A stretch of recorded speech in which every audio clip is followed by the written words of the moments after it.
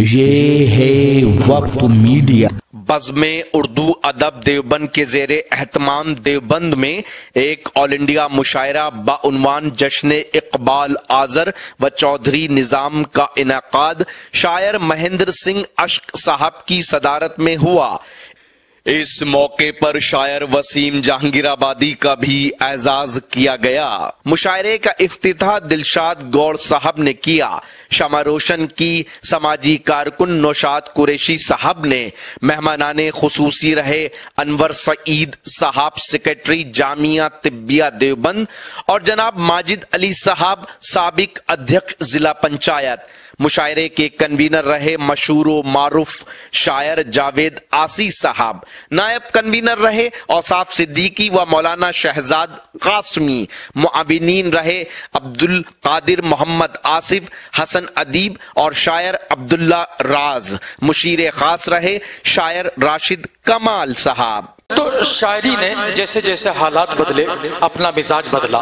एक शायर ने कहा, अकेले घर में इस तरह अकेलापन मिटाता हूँ। अकेले घर में इस तरह अकेलापन मिटाता हूँ।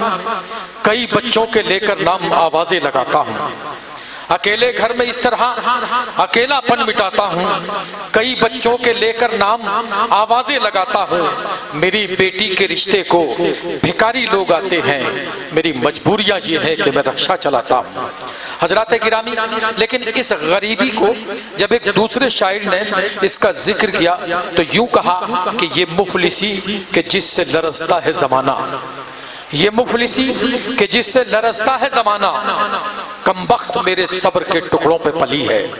जब शायरी ने एक कदम और आगे रखा तो दोस्तों, यूँ आवाज़ आई कि शाम से बच्चा खफा है, दूध पीता ही नहीं। शाम से बच्चा खफा है, दूध पीता ही नहीं। मुझसे बेगम बोली, कोशिश कीजिए कुछ आप भी। मैंने उनसे ये कहा, देखो, परेशान हो ना तुम। दूध तो ये भी पिएगा और इसका बाप भी। हज़रत गिरामी तंजो मिजा की वो मशहूर मारूफ शख्सियत, जिसने न सिर्फ़ देवबंद, बल्कि पूरे हिंदुस्तान में अपनी काबिलियत और तंजो मिजा की शायरी का लोहा मनवाया है। मैं बड़े ही अदब एहतराम के साथ जनाब चौकस देवबंदी को आवाज़ दे रहा हूँ। आप जोरदार तालियों से उनका इस्तेमाल करें, वो तशरीफ़ लाएँ और अपने कलाम से नवाजें। नवाजें जनाब चौकस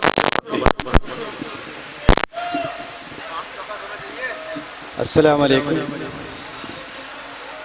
सदर साहब की इजाज़त। जी इरशाद सबसे पहले तो मैं बाहर से आए हुए अपने तमाम शरा कराम का अपनी सरजमीन देवबंद पर इस्तकबाल करता हूँ। और आपसे चार मिसरों की इजाज़त चाहता हूँ। अर्ज़ यूँ क्या है कि आप बाकी समझदार लोग हैं मुझे मालूम है कि आप कहाँ देख रहे थे। मैं कहाँ बैठा हुआ था और आप मुझे नहीं देख रहे थे कहीं और देख रहे थे। बहरहाल मैंने अपने बड़ों से ये भी सुना है कि जो काम करो बिस्मिल्लाह से शुरू करो दाहिनी तरफ़ से शुरू करो। तो चलिए मैं दाहिनी तरफ़ से ही शुरू करता हूँ। लेकिन वहाँ देखना गुनाह तो नहीं। अर्थ यूँ क्या है कि दिले मुश्तर को अब सबरो करार आया तो क्या आया? आहा वाह। दिले मुश्तर को अब सबरो करार आया तो क्या आया? क्या कहने दमे रुखसत अगर पहलू में यार आया तो क्या आया? क्या कहने वाह। उसे भी खींच लाई है मोहब्बत की कसक लेकिन बुढ़ापे में उसे मुझ पर जो प्यार आया तो क्या आया? वाह वाह वाह वाह वाह। क्या कहने और चार मिसरे इसी ज़मीन में और देख लीजिए अर्जी क्या है कि बीवी दिमाग में बीवी दिमाग में है पड़ोसन ख्याल में। क्या कहने वाह। बीवी दिमाग में है पड़ोसन है पड़ोसन ख्याल में। ये आशिकी बसी है मेरे बाल बाल में। क्या कहने वाह। बीवी दिमाग में है पड़ोसन ख्याल में ये आशिकी बसी है मेरे बाल बाल में। बच्चे समझ न जाए मेरे इस मिजाज को। ये उम्र जा रही है इसी देखभाल में। और एक छोटी सी नज्म अपने नौजवान दोस्तों की नज़र, उसके बाद इजाज़त। वक्त की कमी है। अर्ज़ यूँ क्या है कि एक रोज लड़ गई जो नज़र नाज नींद से।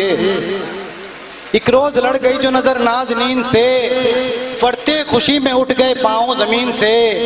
देखा नहीं था उसन हुस्न कभी इतना पुरशरर। थी आरिजों पर सुर्खियाँ मखमूर थी नज़र।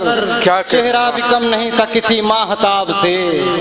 होठ सुर्ख जैसे खिले हों गुलाब से। जुल्फें दराज बिखरी थी शानो बखम बखम।